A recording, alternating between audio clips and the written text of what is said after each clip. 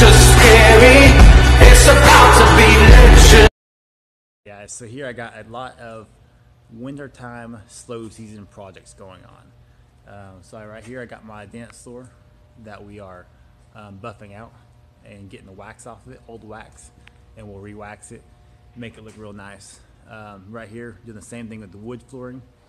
Um, just doing a good clean to it. It doesn't get cleaned very often. Um, and then gonna put some more stain across that. Um, so I got plenty of dance floor. Got some here, uh, some there on a cart, and then all the stuff we're working with uh, right now with this and uh, what's right here. Um, changing out light bulbs back here with the ladder, and back there I got some more flooring I'm going through and doing. Um, but the bigger project that I was going to post about is right here, this welding rack, or what I'm welding up. So um, we just did a 60 by 90 flooring, uh, bought a whole lot of plywood, plywood pieces and two by sixes. So um, I'm welding up racks to hold that, um, hold all that plywood in. So um, yeah, I'll turn you around and let's just see uh, some of what I got going on and how I'm welding those racks to uh, be um, storage. All so um, what I'm using is these right here um, these beams. Now these are just arms, arms shelf racking. It's pallet rack racking arms for this right here. But these one, the ones I'm using down here do not fit are what we currently have for the uprights. So I'm using those. It was cheap. I mean, it was actually free. Um, had it laying around out back. So I'm using those.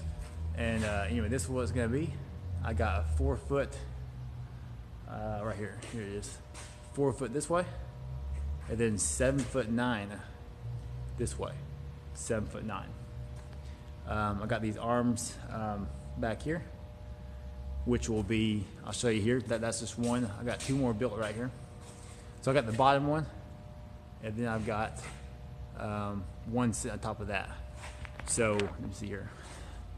The bottom one's got one piece of plywood, and then I got my next one set, set on top. Uh, now this is going to be 58 high, which is one bundle of plywood, and then we'll set the second one, the second uh, rack on top, second bundle of plywood on top of that for extra storage, and we'll just offset. You see here we'll offset the arms. That way they'll sit on the right. Um, and the bracing in here and over here, that's for so the plywood don't, don't sink as we set more more on top of it.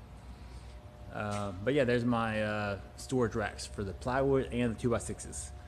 Um, so that's what I'm building. I need about three or four more to build, and we'll be um, good and set there.